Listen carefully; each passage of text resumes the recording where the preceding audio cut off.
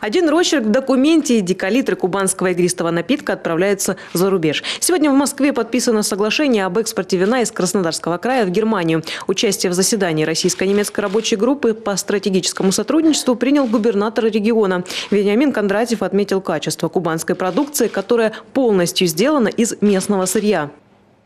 Это э, рывок э, для виноделия даже не Краснодарского края, а э, всей нашей страны.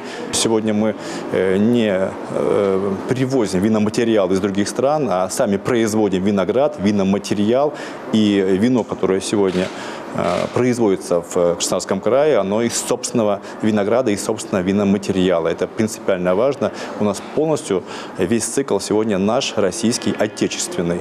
И питомник, который заложен в прошлом году в крае на 500 гектаров, уже говорит о том, что у нас и саженцы винограда тоже наши, э, кубанские, наши российские, наши отечественные. Это делает нас максимально независимыми ни от какого импорта. Уверен, что вот э, сегодняшнее событие заставит виноделов Краснодарского края еще больше наращивать свои обороты, темпы, стремиться еще к более высокому качеству и будет э, за первым сегодняшним шагом второй, третий и последующие шаги по освоению рынка уже за пределами Российской Федерации. Конечно, очень сложно выйти на рынок, тем более какой рынок? Рынок Германии, Австрии, Европы, где понимают толк в вине, знают, что такое вино.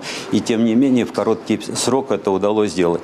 А, это сложно, но а, самое главное – это все-таки иметь тот товар. И вот этот товар, который высококачественный, а, элитный, я бы сказал, это как раз показывает, что и немецкие потребители получат высококачественное российское вино. Качество кубанских вин оценили в Германии давно. Месяц назад бизнес-миссия Краснодарского края отправилась в Германию. Зарубежным партнерам презентовали экономический и инвестиционный потенциал региона. Среди визитных карточек, конечно же, вино. Виноделы из Геленджика станут третьими производителями, напитки которых отправляются за рубеж. Сейчас их продукцию можно встретить, естественно, в Краснодарском крае, Питере, вот здесь, в Москве и даже Казахстане. И вот два напитка из э, всей линейки, из всего ассортимента сейчас готовятся к отправке в Германию.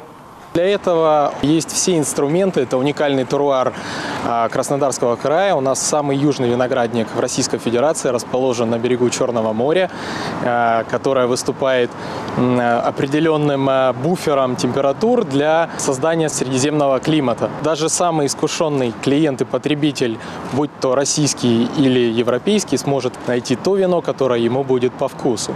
Пить кубанское вино – хороший тон. Так между собой говорят сомелье. Наши напитки давно нашли своего потребителя. По независимым оценкам экспертов мы не уступаем французским и итальянским конкурентам. В конце позапрошлого века, благодаря многолетней работе виноградарей на Кубани, были созданы знаменитые сорта Каберне Абрау, Мысхака Рислинг. Они и сейчас прославляют отечественное виноделие. В 1871 году первопроходцы-виноделы закупили партию виноградных лоз Семильон, Каберны и другие.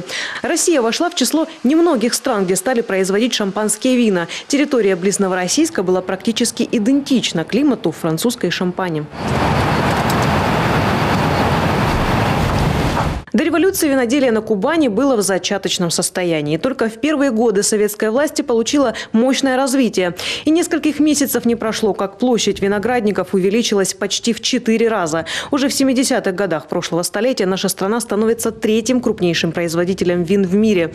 Сегодня Кубань производит почти половину всего напитка в России. Мы сохранили лидирующие позиции по производству шампанского вина. На этот результат трудятся 17 винодельческих предприятий региона. В прошлом году была была проделана большая работа по закладке новых виноградных плантаций. Аграрии высадили больше полутора тысяч гектаров молодой лозы. Такого не было последние шесть лет. Власти делают ставку на развитие отрасли виноделия. Это выгодно экономически. Один рубль, вложенный в направление, возвращается в бюджет региона в десятикратном размере.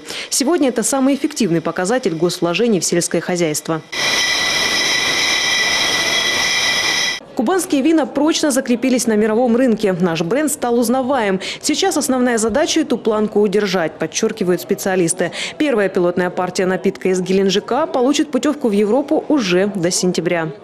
Инна Чайка, Алексей Комаров, Денис Перец, Кубань, 24, Москва.